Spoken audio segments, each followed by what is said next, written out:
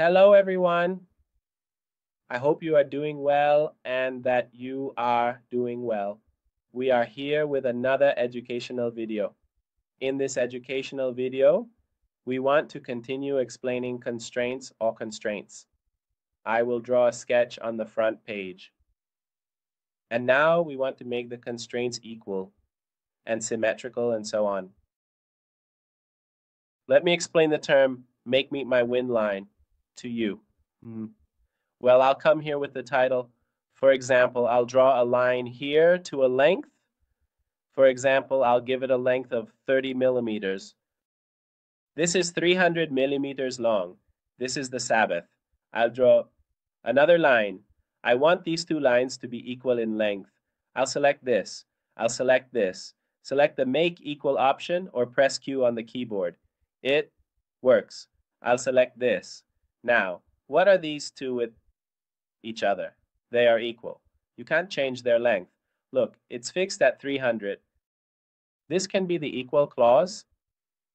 The next clause, the symmetric compound clause, for example, I draw a circle here. I draw a circle here. I want these two to be symmetrical with respect to the axis, actually our vertical axis, to be symmetrical. I'll choose this. I'll choose this. I'll choose the axis. I'll choose the metric measurement option. Jordan, these two are completely symmetrical to each other with respect to this axis. We can see. It's as simple as that. What else do we have? The next constraint is actually the midpoint uh, align constraint. For example, you, you draw a line here. You want the center now you want the end point of this line to be on the center of this, actually the bottom line. I select this one, and I also select that one. Then I choose the midpoint option.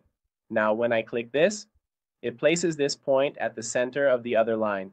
Look, if you move this, this point will always stay aligned with the center of that line. When I move this, see how it shifts while this point remains in this. Oh, area. Now, if you want to make them coincide, it's easy.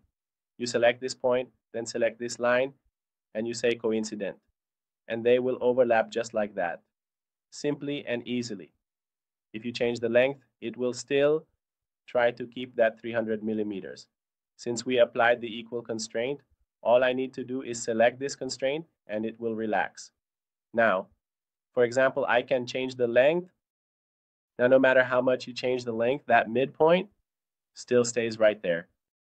This became the constraints in the midpoint align, make midpoint align, make symmetric, and equal. Equals actually works on both circles and arcs. In our next video, we'll examine the make equal constraint on circles and arcs, and we'll also look at the tangent constraint. I hope you found this educational video helpful. Don't forget to like, comment, and subscribe. And until the next video, take care.